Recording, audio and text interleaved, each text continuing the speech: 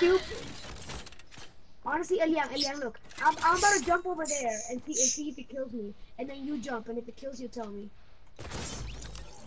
If that one didn't kill me, you can't jump. If it kills you, then Yeah, it does. so I it's it's it's